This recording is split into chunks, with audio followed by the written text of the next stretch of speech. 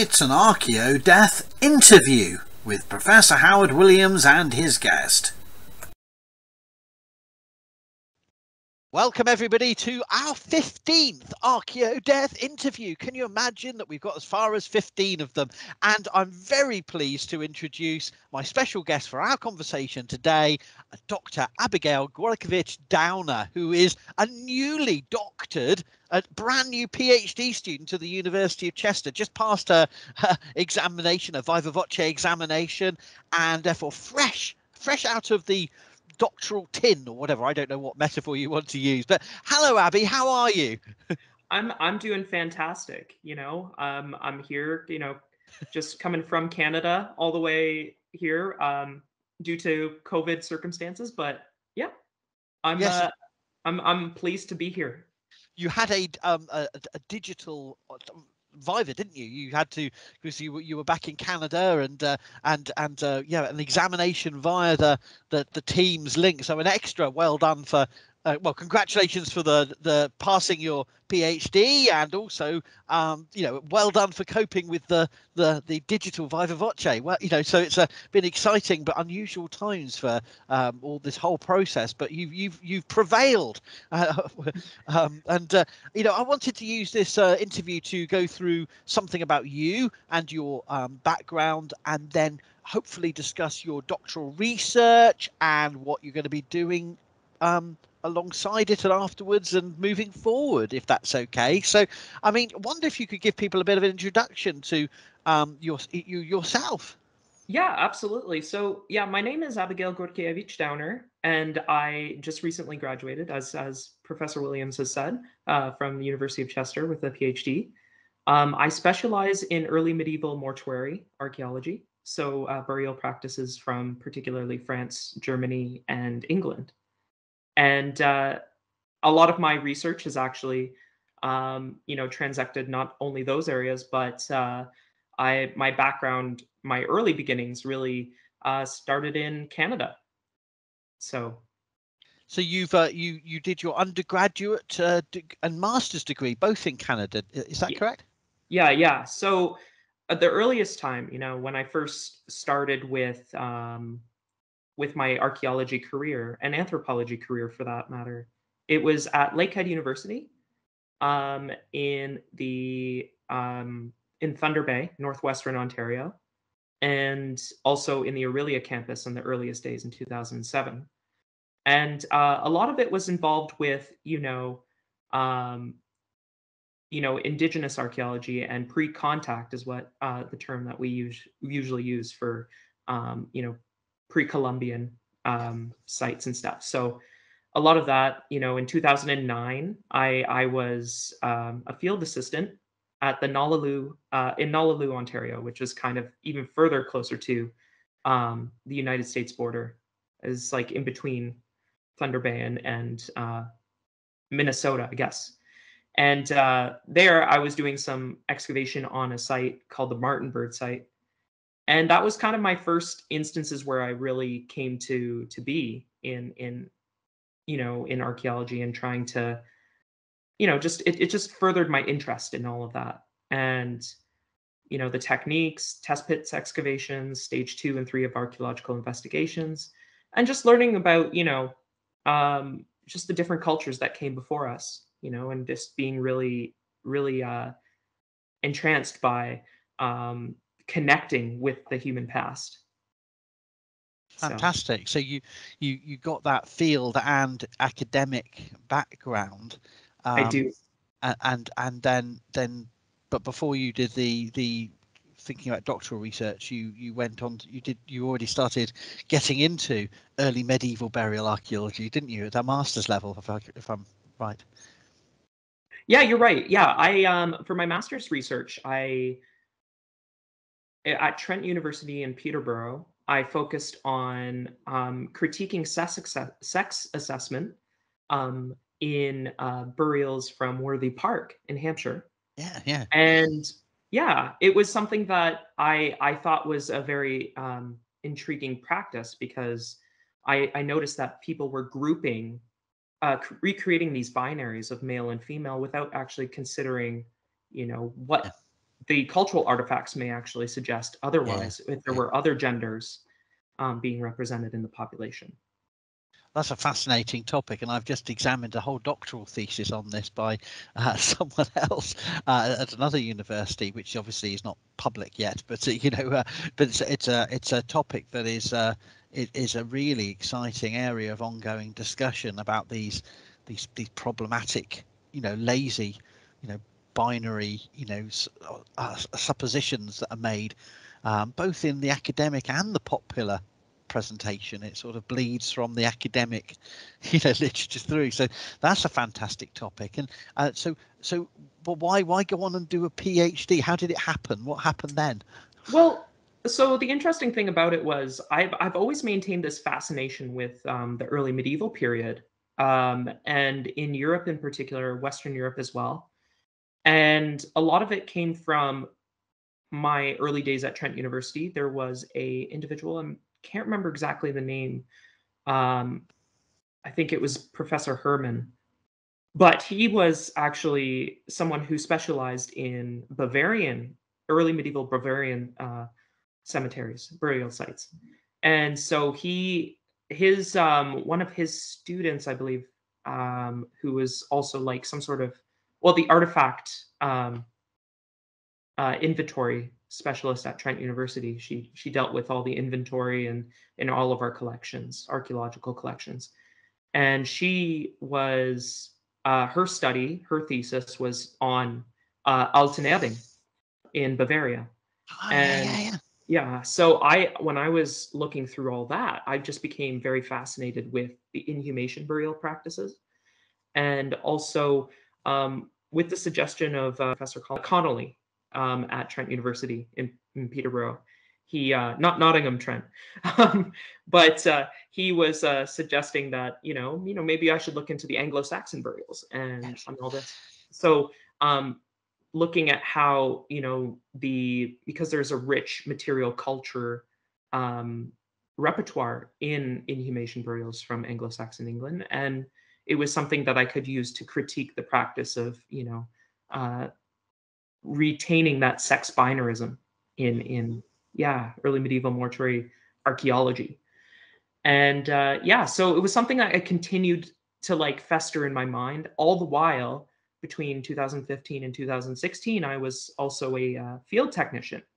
Um, so i was archaeological field technician doing um, commercial archaeology here in canada. So it was it was always a, a, part not just of my academic career but it was something that you know commercially i, I maintained. Um, and i mean even though that was more of an ontario focus you know pre-contact and historic archaeology um, I, I made the decision to look at oh you know there was this this practice of um, assigning the term amulet to certain objects and it just it, it struck me as really odd. At first i was i was for the practice and i wanted to understand amulets Yeah. at the beginning um, and to understand their deposition. But then i soon soon came to realize how arbitrary the category was. It didn't really reflect context and it didn't really it wasn't necessarily used in in a way that it could be interpretive uh, um, it wasn't really a good interpretation i didn't find it to be good at all um, so yeah at that at that time um, i really started looking into doctoral programs and you know the university of chester came to my uh, you know came into my uh, line of sight and i i decided to set on uh, applying So, I mean, uh, then, I mean, it all transpired that we we co-supervised. Uh, Dr. Amy Gray Jones and myself were co-supervised. You are we're both mortuary archaeologists, and obviously Amy has a more bioarchaeology angle to her work. But and I've got the early medieval so uh, interest. So uh, together, that that that was our, that was the supervisory team, and uh, you know, um, and that problem of amulet amulets beca- developed didn't it and and you you, you know so uh, and that what became the, the, the challenge to, to re re think of all these objects and you know I, I i still find it you know i find it exciting but realizing that you know yes I, I obviously i knew about amulets and i'd read about them and i'd actually discussed them a bit in my own work but again and again tenaciously that term comes back, doesn't it? And you know, it's just it's applied to all of the. We have the weapons in some graves, and we have brooches and dress accessories in many graves, some with weapons, you know, and so on. Others, you know, other female gendered assemblages that don't have weapons you know but but these other items are so often missed aren't they? Because there's so many varieties of them and they they cross that binary gender division that people um, you know focus on. And i find that's why this is such a deliberately disruptive topic in a good way. You know it's it's you know, disrupting those comfy categories and uh, that's what i thought was so exciting from the very start your your research was was challenging that. So can you give us a sense of how it all developed then? Yeah so uh, a lot of it really began with reassessing as you said that that uh, that comfy term you know amulet and how it's been used as a um, a catch-all for very unique and and rare artifacts overall um, in in early medieval uh, inhumation burials, but also in cremation burials as well. But my focus was mainly on inhumation burials. But what surprised me even more was that even though this practice was so dominant, it did receive little criticism. So um, there had been one study in Germany that I found, well, in German, um, that did, you know, question its uh, the term's ability to, um, you know, be applied to objects and how we could use it uh, as a valid interpretation. That was Herdick 2001, yeah. but very few have actually questioned it, and and it's just been very like a typological category, just repeated over and over again. Um, so I kind of I was looking at different ways of seeing how we can actually get to the the meat of what these objects were for. You know, how what was their meaning, their intention, and all this kind of stuff. And one of the things that I found intriguing was a spatial approach. Yes. You know, there yeah, there were different approaches that um I mean, they had been used before in amulet research, amulet research to uh, advocate for um, for defining objects as amulets, like uh, Meaney 1981, which is a primary example, um, which was a typology in Anglo-Saxon burials of of creating, um, you know, a framework for people to identify amulets and critique them and all that kind of stuff. But um, there was one statement that really shocked me was that you know inferring nearby objects as amulets if they were found to be uh, next to more demonstrably am, am, uh, amuletic objects like amber beads. And that was right. on page 28. And so I felt like, you know what, that doesn't really necessarily, you know, I, don't think that really reflects how these objects could necessarily be all amuletic, or we can use that to, you know, um, divide divide these these objects into that category. But um, yeah so i was more i was more interested in the spatial approach and um, a lot of it came from previous work on um, looking at objects in graves and understanding uh, the spatial positioning of objects so you know this is heinrich härke in 1992 his thesis on um, weapon burials and different weapon uh, objects that um, they reflected different uh, patterns in Anglo-Saxon burials.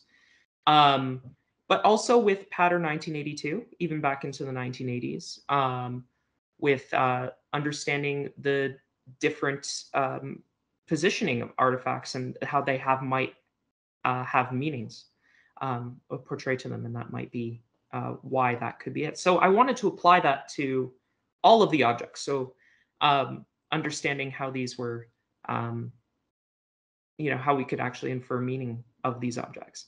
And uh, I decided to actually focus on clustered objects in particular. And a lot of that was more to the point where a lot of these amuletic objects were considered uh, clustered together. They were never really um, isolated in many oh, of the groups. Right. So that was something that I wanted to um, focus on. And it, it, it really brought some interesting conclusions. But um, before I go to that, yeah. um, there were, I also focused specifically on females, were another focus. and that's also due to the fact that many of these objects are fo- found with females, Yeah. and that's how you know I think a lot of people use the term amulet is not completely, but a lot of the time with uh, female individuals. Yeah, yeah, and then uh, finally, yeah, amber was also something that I wanted to um, investigate in this regard because it was possibly one of the more uniform um, inclusions that are in, like interpreted as uh, as amuletic in graves. So these are, you know, even though they don't necessarily occur at great numbers, they are found um, and they are uh, more po- more common, I'd say, than other forms of amuletic objects. So do you think that um, your skills in I should have said that your language skills help to dictate your ability to look at this topic on both sides of the English Channel, right? You were, Yeah. you were, you you had uh, French, a bit of German, and English, and that mono monolinguistic approach to a lot of the archaeological record of the early Middle Ages. You could break that down, but why did you pick on the case study regions that you did in you know in to take this forward? Because you could have looked at lots of different parts of northwestern Europe where we have furnished burials of early medieval date. Why, why did you look where you did?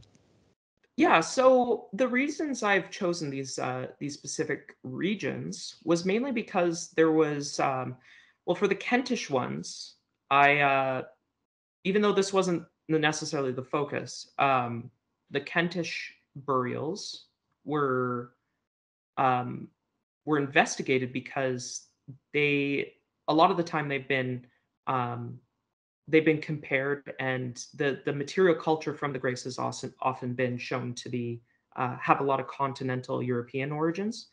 Yeah. Um, so sometimes the um, I'm sorry about this right here. Let me get there. Yeah, so I, I mean, I'll just go in and uh, go to Alsatian burials first, actually. um, so Alsatian uh, Alsatian contexts were actually very useful because in Alsace, um, I noticed that there wasn't a lot of these cross comparative analyses that um, were using Alsatian material culture. So even though it is quite far from the channel, I found that it was actually more. Um, it was a very rich source, and a lot of recent publications have come out um, that uh, a more recent date as well that haven't just been addressed by by these um, Anglo-Saxon and, for lack of a better word, um, Frankish and Alemannic uh, cross-comparative studies. So Yeah. that was one of the ra- main reasons I chose Alsace in particular, um, and it you know, so it was kind of bringing that into an English sphere, um, Anglo uh, Anglo studies as well, Anglo-Saxon studies. Um, but Kent has often been compared, so that was another region that I specifically chose because it was um, it's often been compared with uh, continental remains and material culture. But uh, East Anglia was another choice that I decided to to use because it was also shown to have some continental affinity in, in material culture, but it wasn't necessarily um, compared quite as frequently as Kent with the continent. So um, it, it was kind of uh, like another comparison that we could use to understand um, these objects and their meanings, essentially. Fantastic. So you got three different comparison regions, and you were looking particularly at the seventh century and female gendered assemblages. Is that is that fair to say? Late sixth. Yeah. so- Yeah, late sixth and and uh, early seventh and general seventh century burials as well. And this is where a lot of these artifacts are found. Um, not exclusively, of course, but um, you know this includes uh, so-called crystal balls, um, items like you know um, cowrie shells are also Yes. quite prominent in the seventh century and late sixth century burials. So it's these kind of objects that keep on reappearing. So I thought I would have ample evidence to understand these objects within you know their their clustered formations But, So what did you find out? Do you think in your through your doctoral research?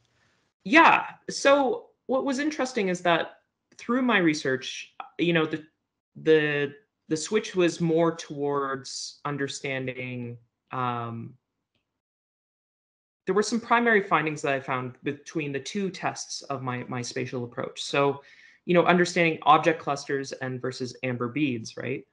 So my approach, the uh, compact contained assemblage analysis or CCA analysis, really found that um, contained objects, object containment was actually a very common practice in mm. inhumation burial, and I thought that was very interesting. Um, it really showed that it was frequent and it, it wasn't necessarily um, an isolated thing. But another another um, another conclusion that I found was that the CCA positioning, the object cl- clusters themselves, um, their positions reflected regional tastes. So there was like there was a um, each grave construction region. So in Alsace, for instance, this is a primary example for um, late sixth century Alsatian female CCAs, 35% of the CCAs or the object clusters were placed to the right of the body, uh, in contrast to 2.6% of the um, roughly comparative range uh, um, of broadly seventh century um, overlapping with late sixth century Kentish female CCAs. So 35% compared with 2.6% was was quite drastic. And I, I realized that the right of body was also um, was also pretty prominent in um, the type of construction preferred for Alsatian graves, which was more based on a Morken, uh, which is proper, popularly called Morken style chamber, which involves that division of a, a left and a right um, partition, right? Yes. And so this this is this is something that was very unique in contrast to um, Kentish and East Anglian burials, which happened to be a little bit more narrow.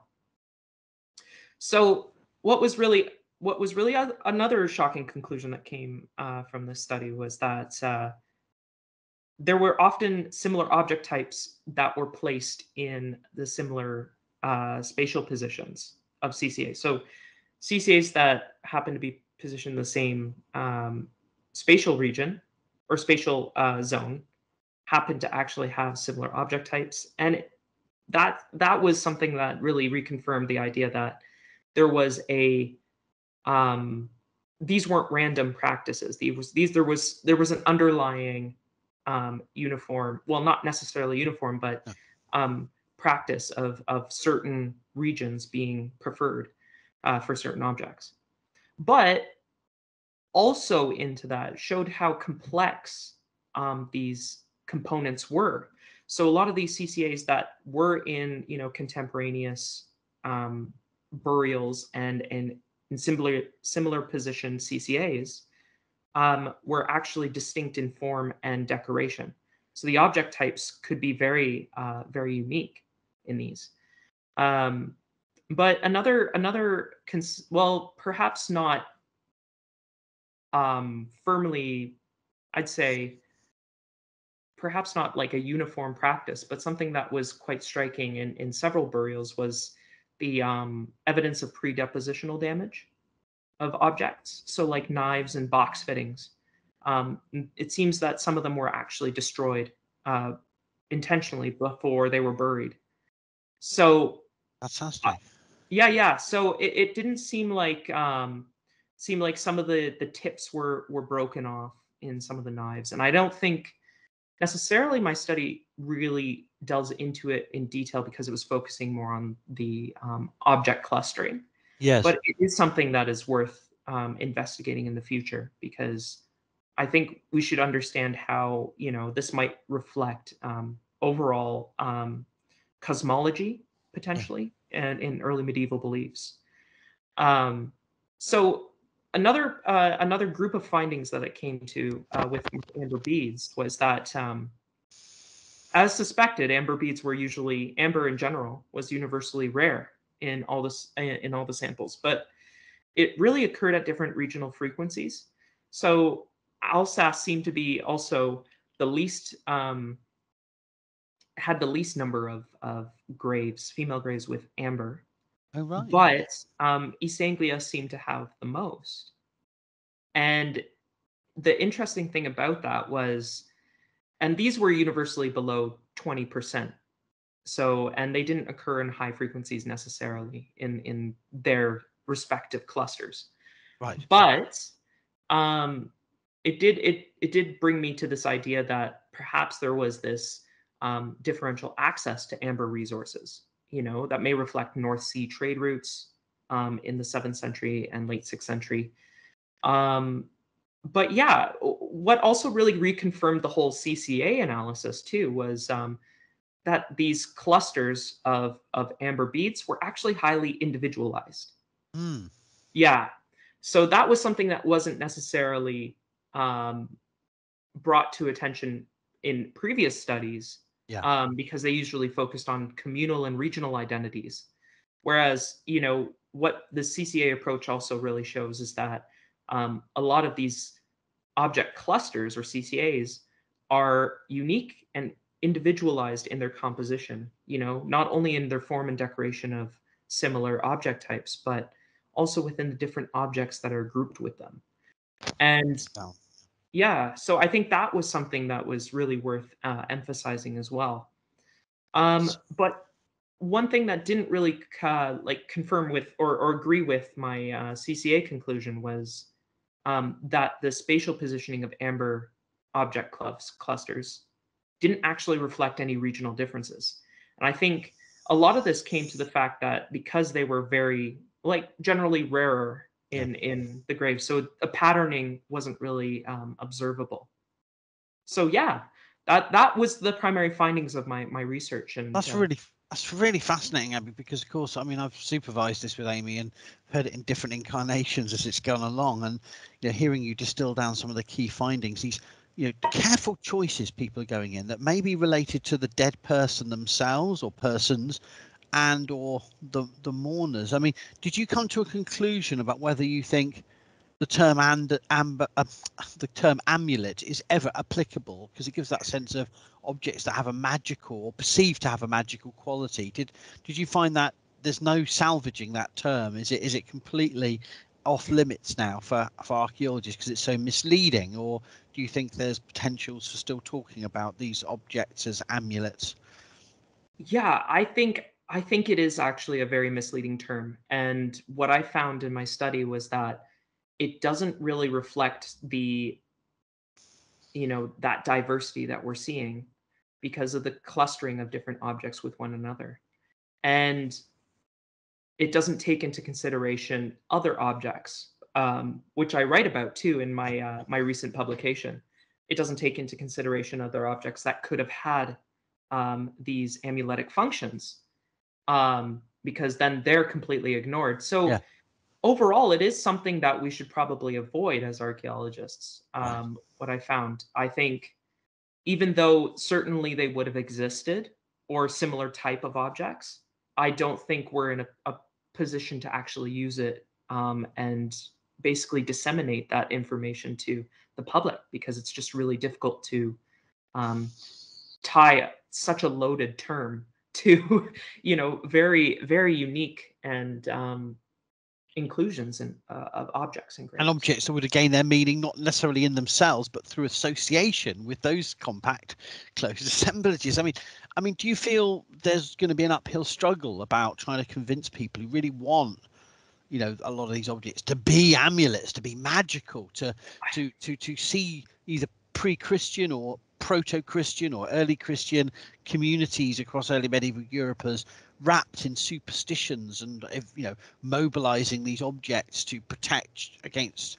the- dangers of childbirth or starvation and famine and you know just a, a bad back don't, you know whatever we don't know do we? You know but but you know do we is that is that part of a bigger dark ages stereotype of seeing everyone as a bit superstitious I, I think in general it is. I mean, I know there ha- have been recent publications, especially in terms of Norse archaeology and and Viking Age archaeology, as well as uh, Scandinavian Iron Age, um, that really talk to notably Price, Neil Price, yes um, yeah and talk about you know the the magical uh i guess properties of certain objects and you know i think there's a lot of you know historical evidence to support the idea that you know perhaps groups of people did believe in these things you know Yeah. Um, there's no question about it, and I don't believe my my research has really denounced um, the Okay. existence of of Okay. such you know beliefs and and and practices, but it has been more of a it's really demonstrated that you know the way that these objects were used, at least from what we understand in graves, could not be uh, tied necessarily with amuletic purposes. Um, and when we continue to use that, I think it can be misleading. I think it can um, take away from other potential interpretations, you know, of what these objects were really for.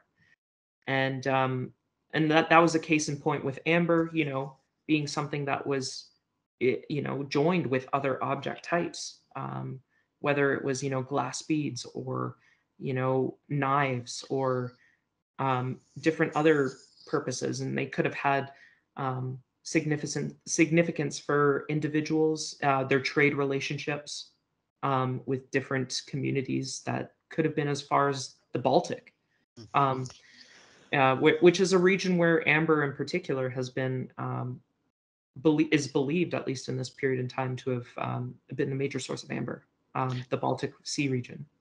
So you were seeing the objects, the choice to put an object in a grave may say something about that identity of the person or their family or their kin group in life, but potentially also was, you know, tied to afterlife belief, beliefs, or did you sort of, you weren't so convinced by that?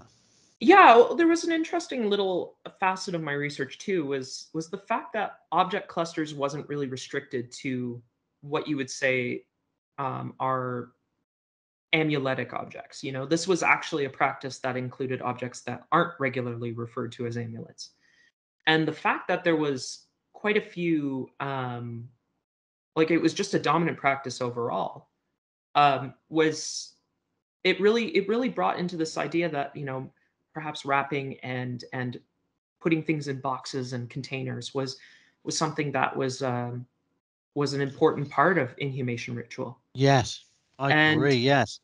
Yeah, it, it really brought me into um, some of the histories, uh, uh, Gregory of Tours, uh, history of the Franks, and the idea that you know objects were contained also in traveling, um, and and used in journeying and things like this for for living persons, of course. But it also brought me into the idea that you know there are some ethnographic examples um, where there's a belief that the the dead actually journey to another place. Yeah. And so, to what extent could that be a relationship uh, of uh, people containing objects for storage in the afterlife, or perhaps for using them in the afterlife? Um, another another interesting uh, facet of that was the use in Hong Kong in recent years. I I, I, br- I bridged this with the depositional dam pre-depositional damage. That's what I called it. But basically, you know, breaking items before they're put into burial really really brought me to this this idea of um, it reminded me something I've always been very interested in, um, but uh, a practice of burning uh, objects and destroying objects in order to transport them to um, to the afterlife. And this was something that uh, is noted in ethnographic examples in China and in Hong Kong specifically as well. Um, and a lot of that is is to is that that idea of destructing uh, well is of destroying in in order for it to be usable. And this really con- contra- like it really uh, contradicted some of the other um, implications that there was this idea of killing objects, you know, that have been um, proposed, say for from Andrew Welton 2016 uh, on yes. knives and spears and stuff like that, because there was this idea of destroying the function and the the use usability of an object through um, through destruction. But um, yeah, so this kind of flew in the face of that. What if what if the afterlife was actually you know it, was like a, a very twisted or maybe um, alternate form of the the this reality. And so maybe that's how people conceived how these things could have been transported and used in the afterlife. Um and uh yeah so that that was those were really really uh interesting conclusions that thought, you know, made me think about how I could, uh, what kind of avenues I could take in the future. I mean, it's like uh, whether it's the afterlife is the inversion, like sort of the the TV show Stranger Things has the upside down, this you know up, or or it's the the, the funerary process you have to invert things to sort of distract the ghost or the to ensure they the the spirit of the dead there's so many different ways so little we know about what people in the early middle ages thought. And you see people being so definitive about well when they were christian they would have thought this but the pagans would have thought that no we really expect a messy situation for most of the early middle ages.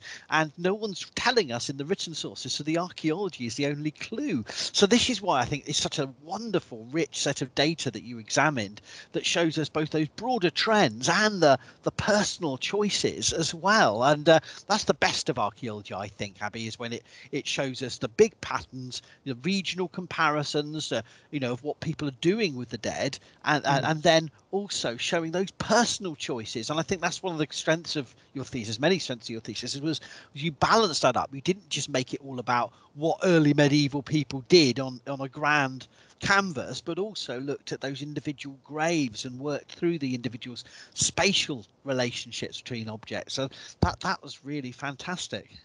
Thank you, thank you. Yeah, it it was uh, it was a very interesting journey too to uh, incorporate some more less known, I guess, in the in English research and Anglo-Saxon research um, burials from you know Alsace, and um, you know, with my abilities to to use French and speak French, and and having my my connections uh, with Archéologie Alsace, um, based in um, uh, in in um, southern Alsace, was very well, actually, on the border of of northern and southern Alsace. It was uh, it was a very good um, inclusion, I think, because um, there are some burial sites that um, I have yet to really uh, include in this analysis and um, but have been recently published too. Um, and I know of mainly from uh, Bas-Rhin, which is up in the northern region. So Erstein is one a good example. Uh, a lot of the material cultures held at the uh, archaeological museum um, in Strasbourg, and uh, yeah, it's just there's there's still a lot more to include on that um, on the early medieval practices in in Alsace, but also joining into um, you know, other objects and uh, the destruction um, post, uh, I mean, pre-burial destruction of objects. I, I, I, really enjoy that. Obviously, you were busy for, uh, uh, uh, you know, this colossal project, you know, doing a doctoral research, but in, as well as that, you were busy, um, you know, getting involved in conferences, you know, as well as data gathering, you're traveling, and you also present, you know, as well as presenting your research, publishing your research. So, but maybe could we have a little bit of a broader sense of the kind of things that doctoral researchers get up to beyond, you know, just getting the thesis done? what what would you say in that regard? yeah, so I mean, a lot of it too was um, I, I had the ability to uh, publish. I, I went about and published a part of my literature review um, in 2019 so it's my first official publication, and it's a chapter in a uh, British archaeological report uh, called Current Approaches. Oh. People, places, and things in the early medieval period. Yeah. Wonderful. Yeah. So this this was um, edited by Heather Christie and Megan Casson, and I'm in chapter three, which is what are I don't know if you can read that. Yes, that's fantastic. Yeah. What are amulets yeah, for the early medieval dead? Um, rethinking cowries in seventh century Anglo-Saxon and Alemannic graves. Yeah. Yeah. So this is this was something that you know I I wanted to um, reassert and it was you know just bring up some theoretical issues with with how we use the term amulet in archaeological practice and it was an avenue that you know i could definitely stick my foot in and uh, really you know n- not many people had really been addressing this this problem. So that was something that was an easy way to actually, you know, get and publish. It was based on a oral presentation that I gave in Glasgow at the early medieval uh, association, uh, early medieval student symposium, um, archaeological student symposium, and uh, in 2018 called uh, assemblages formerly known as amulets. and so yeah so it was it was something that you know through my other my presentations in total i've i've i've done five oral presentations um, so a lot of it has been also with theoretical archaeology group um, even uh, at deva or, or dewa at chester University yes, we did. We organised it in 2018, didn't we? Was it 2018? Yeah. Seems like a million years ago now, but yeah, you were you were there when presenting away with the rest of us. Yes, it was a great great event for Chester to have the first theoretical archaeology group come to Chester. Yeah. Yeah, it was it was it was the 40th, I believe. It was 40th conference. Yeah. Yeah, yeah, and uh, I've also been quite um, quite active in the uh, European Association of Archaeologists. That's right. So the EAA. Um, my first presentation actually there was a poster in 2016, and it dealt with um, my master's research on querying. It was called querying skeletal sex assessment at Worthy Park. That was hard to say. Uh, Hampshire in England. Yeah. Oh, that came from your master's work, of course. Yeah. And in the very early days of, or was it even just before you started your PhD with us? it was. Remember. It was. Yeah, that's yeah. it. Yeah it was in the summer of 2016 so um it, it really just uh i was in i was in vilnius at that point in time which uh which was a very good experience for me also um but also trying to get you know i guess start my my academic uh my academic career you know becoming more known among yeah. among archaeologists and even having the opportunity to uh, present my findings um, it to the actual session that I was a part of, even though it was a poster presentation. It was something that people were very intrigued by, um, which understandably too, it's something that you know uh, the critique that we're using was was very essential. Um, but yeah, so a lot of it, you know, even EMAS in Glasgow in Scotland, and then even um, in 2019 and 2020, I did some uh, presentations at the EAA um, in Bern and Budapest. And uh, well, it was a virtual conference in Budapest, of course. And um, during my PhD, I was also uh, involved in organizing some conference sessions, uh, co-organizing. Um, so with Rachel Cartwright in 2021 for the just the past um, virtual conference in the EAA, we did medieval glocalization. And yeah, yeah, and uh, also um, the virtual conference in Budapest with education shaping pers- public perceptions of medieval archaeology with uh, Profen- uh, Professor Carenza Lewis at the University of Lincoln. Yeah, so that was that was uh, another involvement that I had um, in trying to get sessions that you know spoke to these these these topics, and um, you know the, the coolest thing about it too was that a lot of it dealt with um, aspects of my research the um, you know how we how we form our knowledge and our practices of education and and and how that relates to um, how we interpret and how the public the public engagement of of uh, early medieval material culture. And uh, also was really cool was the glocalization aspect which was something i hadn't even fully considered before um, being primarily, I'd say, uh, a Roman period investigation or, or something that's more dominantly um, used in other areas of our archaeology. So trying to see if I could use that to apply it to early medieval contexts and, you know, and my relationship to understanding certain objects like cowries. A lot of these objects are exotic, right? Um, yeah. Yeah. So you've you've got this kind of you know, I think it's really useful for for people to get a sense that you're you're you're doing your research, you're promoting your research, you're networking, you're taking it beyond your PhD uh, uh, in terms of presentations that are part of your PhD, but, but some of it, you know, is, is you know maybe looking to the future. I mean, and that leads me to ask, you know, what do you think's coming next for you? What what's where what are you up to, and what what might what, where does it go?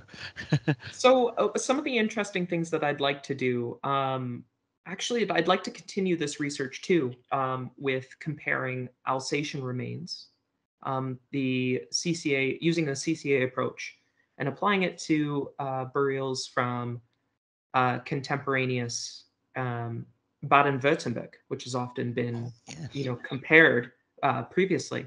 being um, almost being a, a uh, in in the seventh century and and sixth century being a very culturally connected region of Alsace, and uh, very so using that would have been something that I uh, that I'm I'm planning to do um, for a postdoc.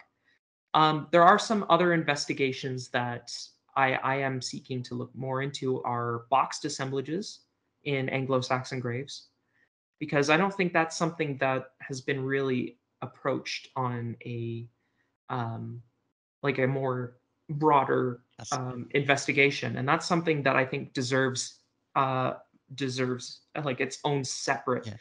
um, investigation. And um, I mean, the only closest, the closest thing that I could even imagine that somebody had ever done it was Vera Evison uh, for yes. Buckland Dover and in Kent. And but realizing that some of the boxes that were actually buried had broken elements to them and may have been broken before they were buried was was something I was like, you know what? Are we going to, you know, can we just like instead of just calling them boxes let's see how different these boxes are. What are their you know contents? What are the woods that are they made of you know their construction? And you know trying to figure out how how varied are they? Are do they vary on an individual basis? Or are they very uniform you know um so yeah that that is another research um another uh, avenue of research that i do wish to take in the future um, and also, I think another another element of research that warrants investigation is is um, a CCA approach to understanding objects uh, in Viking period uh, yes. material culture. Yeah, yeah. Because it, it, it's something that still is quite frequent. You know, the way that we use amulet, and I think you know the CCA approach has shown that perhaps we can take a different avenue and see what the data tells us. Yes. Know? Yeah, rather than dumping the category on it, look at the patterns coming from the the furnished burials of the Viking world too. Yeah, absolutely, yeah. definitely, yeah. And I mean, I know, I know this this approach hasn't necessarily been developed for uh, cremation period, like cremation burials, but I do think there may be ways to understand cremation burials. Um, I I was inspired by a recent talk uh, during our session in 2021 with um, the uh, gosh, what was it? It was the Hoard study on uh, the Galloway Hoard. Yeah, the Galloway Hoard. That's it. That's it. I, w- I was I was inspired that, by that because the um, the presenter actually went through um, the layers yes. of of the material culture, and I wonder to what extent we can understand a spatial positioning, if we can understand spatial positioning in cremation graves Absolutely. Yeah. Yeah, yeah. I wonder if that would have any impact in how we understand not only the process of of these objects, but whether they they had potential meaning associated with, you know, their different, you know, layering and um, basically composition. Well, you're creating the ultimate compact closed assemblage of a potted, if it or bagged, cremation, uh, cremated material with objects, a careful selection process. Yeah, no, I think this is not just about inhumations, but I think you know what what you're saying is that there's many different applications of this approach that get beyond lumping categorizations onto material, but actually working with that diversity from the broader patterns to the localized choices. And I think that's where uh, more studies need to go. And, uh, uh and I th- certainly see the, the, the value of doing that for both Anglo-Saxon and Frankish material, but also Viking. Yeah and yeah. beyond maybe yeah yeah yeah and uh, i mean also cowrie shells have been um it was brought to my attention too um, in the eastern Baltic states, they had been present um, in uh, what are called late Iron Age graves. So that overlap with the sixth, sixth century AD. Um, but what really shocked me was also the fact that cowrie shells in seventh century and late sixth century um, Alsatian and Kentish graves, they they predominantly associate they're associated with um, adult females a lot of the time or adolescent females, whereas cowrie shells in the Baltic, uh, in Estonia, and these areas are actually associated with children. So there's also a different way of understanding what could these mean, you know? So not even in the early medieval period or what we could say the broader early medieval period, interpretations by localized people even didn't also overlap like they they also had different interpretations of these objects so we can't necessarily it it also goes against that that amulet argument you know? We can't just say oh you know a cowrie shell is an amulet in this context and it's an amulet in this context. It may have something that signifies you know a, a age identity or you know perhaps even beyond that if there are rare inclusions because they they are certainly rare in in um, the material culture i've studied so far. Um, it could be tied to you know access to very unique and exotic materials, um, which certainly may have um, implications, you know, for um, understanding society and uh, how people express themselves as world travelers, perhaps.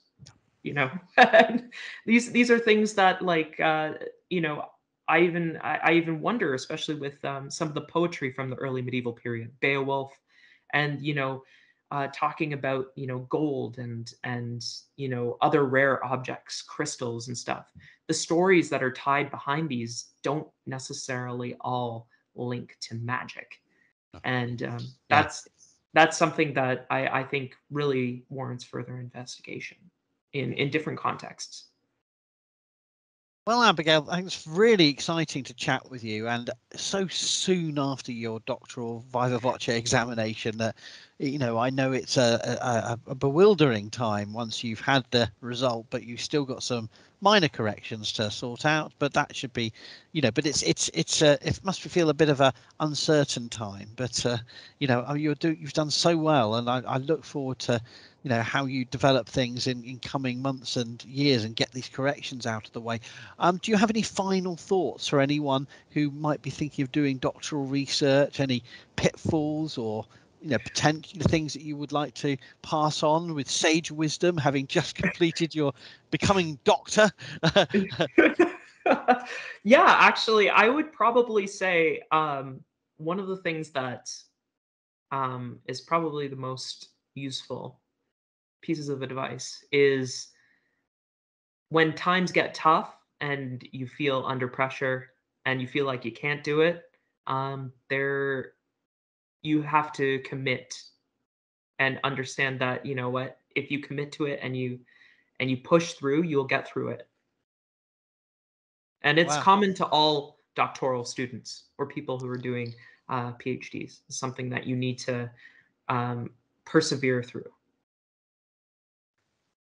Now I have to ask, you had the hat on earlier, Abby, and now it's back. It's manifesting itself again on your head. Uh, can you, you? You've got a. I have to say to for for viewers, uh, Abby has a, a a real constellation of headgear, and uh, I, I- I'd like to. Uh, you know, what what's going on with this one though?